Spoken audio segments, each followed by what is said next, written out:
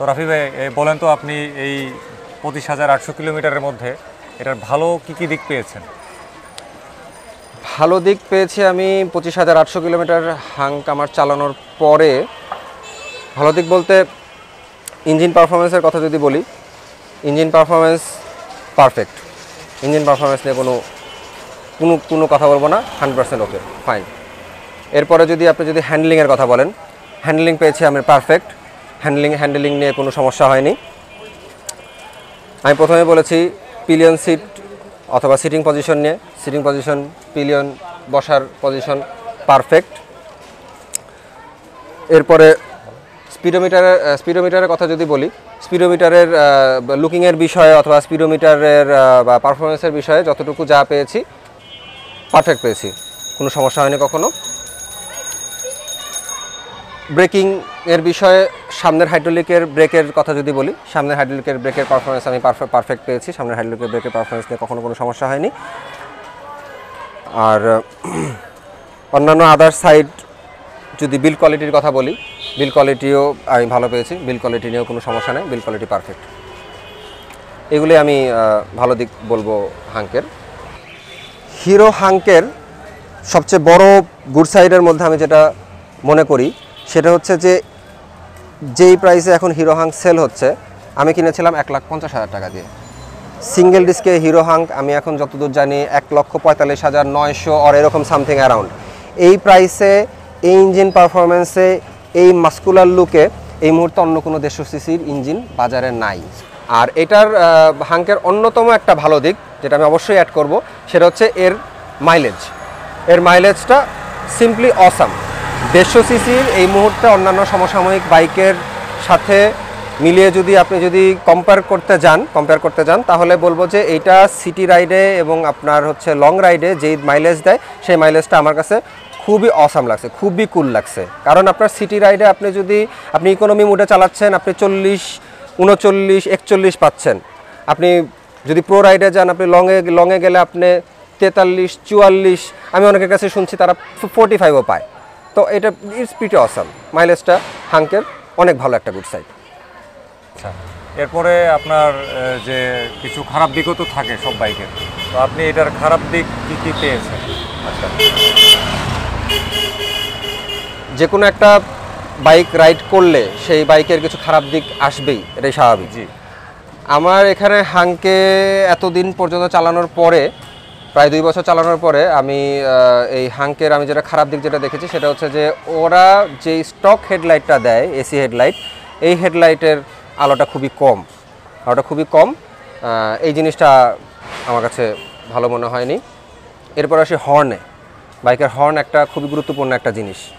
Horn ওরা যেই horn stock horn যায় যেটা দেয়, সেটা দিয়ে আসলে আমাদের সিটি রাইড ঢাকা রাস্তায় আসলে চলা সম্ভব না। আমি পরবর্তীতে চেঞ্জ করে আমি অন্য হর্ন লাগিয়ে নিয়েছি। জি। আর এরপরে সবচেয়ে বেশি খারাপ দিকটা আসলে লাগে হাঙ্কের আমার কাছে সবচেয়ে বেশি খারাপ সেটা হচ্ছে যে এই গাড়ির টোটাল স্ট্রাকচার অনুযায়ী এই গাড়ির টোটাল আপনার গঠনটা গঠন অনুযায়ী। এবং যেই পরিমাণ ইঞ্জিনের পারফরমেন্স এবং যেই পরিমাণ টপ স্পিড ওঠে সেটা অনুযায়ী রেয়ার টায়ারটা আসলে এত চিকন দেওয়াটা আসলে বেমানান বেমানান আপনার দেখতেও বেমানান এবং দেখতে বেমানানের থেকে বেশি হচ্ছে আপনার পারফরমেন্সে সেটা এফেক্ট করতেছে। আমার ব্রেকিংয়ে আপনার পারফরমেন্সটা হিট করে কনফিডেন্সটা পাওয়া যায় না। যদি টায়ারের যদি রেডিয়াসটা যদি আরেকটু যদি বাড়ানো যেত আর একটু যদি মোটা থাকতো তাহলে আর কোনো সমস্যা ছিল না এই গাড়িটার। আরও কি কোনো খারাপ কোনো কিছু আর খারাপ কাছে- কোনো হচ্ছে যে আরেকটা জিনিস আমার মাঝে মাঝে সমস্যা হয় সেটা হচ্ছে যে রেয়ার ব্রেকিংয়ের যে ব্রেক প্যাডেলটা যেটা ব্রেক প্যাডেলের পজিশনিংটা আমার কাছে একটু একটু একটু সমস্যা মনে হয়। পজিশনিংটা আরেকটু চেঞ্জ করলে আরেকটু আরেকটু স্পোর্টি পজিশন দিলে মনে হয় এটা প্রবলেমটা আমার কাছে মনে হতো না। আমার কাছে এটা আমার পার্সোনাল আমার কাছে সমস্যা মনে হয়েছে। এটাই এটাই এটাই আমার এই এই প্রবলেমগুলো আমার কাছে আসলে সমস্যা লেগেছে আচ্ছা রাফি ভাই অনেকে তো বলে যে ওই চেইনিস পকেটের মধ্যে যে কভারটা দেয়া হাঙ্কে এটা নাকি ওপেন হলে ভালো আচ্ছা। এটার ব্যাপারে কি আপনার কোনো অপিনিয়ন আছে? এটার ব্যাপারে আমার ওপিনিয়ন আছে ভাইয়া, সেটা হচ্ছে যে ওরা যেই চেন স্প্রকেট দিয়েছে এবং যেই মাপের, যেই থিকনেসের চেনটা ওরা দিয়েছে এই গাড়ির বাইকের জন্য, সেটার জন্য আসলে চেন কভার টা ঠিকই আছে, সমস্যা নাই। ওরা যদি আর একটু মোটা থিকনেসের লাইক আমি যদি ওরিং চেনের কথা বলি ওরিং চেনের পকেটের যদি কথা বলি, যদি ওই রকম কোনো সেট থাকতো, তাহলে হয়তো চেন কভারের একটা প্রবলেম হলেও হতে পারতো। কিন্তু এই এই চেনের জন্য আসলে চেন কভারটা ঠিক আছে, সমস্যা নাই। ডাস্ট হয় ময়লা হয় মোবিল জমে ওখানে ইয়ে জ- আমরা যেটা চেন লুপ যেটা দিই সেটা জমে ময়লা জমে এগুলো আসলে পরিষ্কার করে নিলেই হয় এগুলো সার্ভিসিংয়ে গেলেই পরিষ্কার করা যায় এটা আসলে আমার কাছে তেমন বেশি সমস্যা মনে হয়নি। তো রাফি ভাই আমাদেরকে বলেন তো আপনি এটার কি কি মেনটেনেন্স করেছেন এই পর্যন্ত একটা একটা করে? আচ্ছা রিকু ভাই যেহেতু বাইকটা পঁচিশ হাজার আটশো কিলো চলেছে প্রায় দুই বছরের মতো মেনটেন্যান্সের অনেকগুলো ব্যাপার চলেই আসে।